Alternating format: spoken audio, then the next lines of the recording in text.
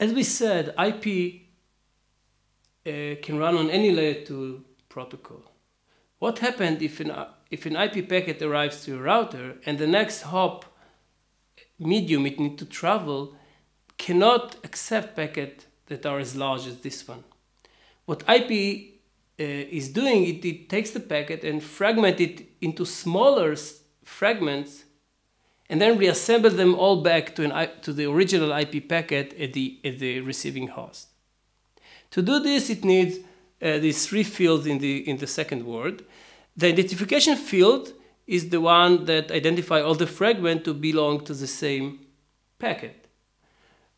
The flags indicate whether the, pack, the fragment is uh, the last or an intermediate uh, segment, and the offset tells Uh, what is the offset of this segment from the beginning.